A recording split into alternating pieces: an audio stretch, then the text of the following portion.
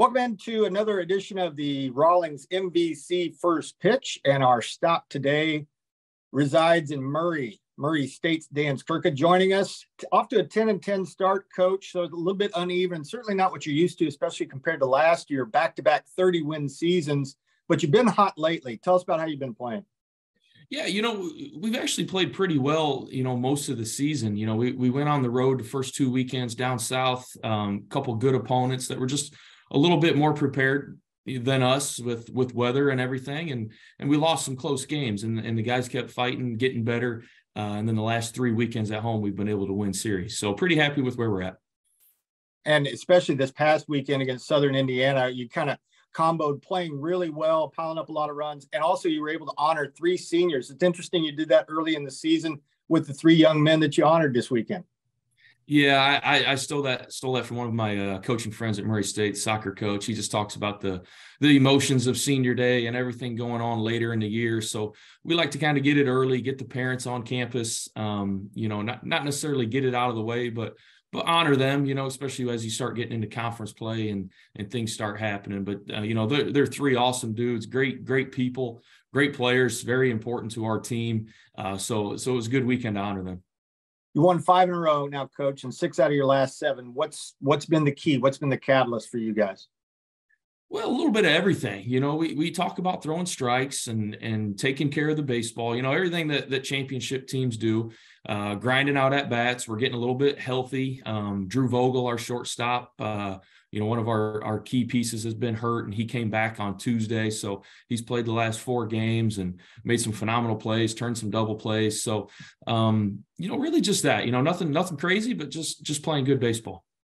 You know, I've noticed that Carson Garner has been a really good run producer for you. Uh, maybe not so much Sunday. He's more of a table setter on Sunday when you win yeah. 13 3. But between him and Seth Gardner, I know Seth Gardner probably doesn't have the batting average that he wants, but he knows how to drive in runs. He drove in 11 this past weekend. Two pretty good guys at the top and the middle of your order.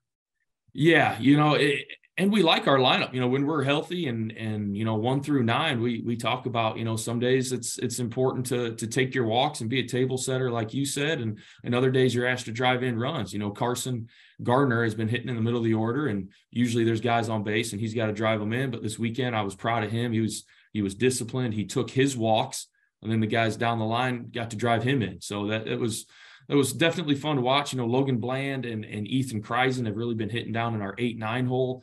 Um, and both of them, I think, are hitting over 300 and just just driving in runs and coming up with big hits. So, yeah, you know, as a lineup, I, I like where we're at right now. And it's always nice when you got a horse on the mound like Jacob Pennington. Uh, anytime you can get a, a run shortened or a, a, run rule complete game, those things are going by the way of the dinosaur. But when you got a horse like him, it's nice to have him at the top of the rotation, isn't it?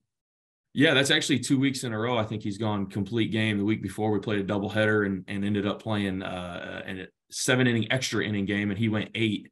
Um, and but yeah, he's just he's just competing. You know, I, I've I've loved Jacob Pennington on our on our roster just for that fact. When when he gets the ball, man, he just kind of transforms into a competitor and just throws strikes and and just like you said, it, it sets the tone for the weekend for our team on Friday when he goes out there and just just does what he does. And as I mentioned, the last couple of years in the OVC, you win 30 games back to back seasons. So coming into the Missouri Valley Conference, you got to feel more excited than anything. Plus, you played Valpo and Illinois State last year, so you get an idea what Valley baseball is like.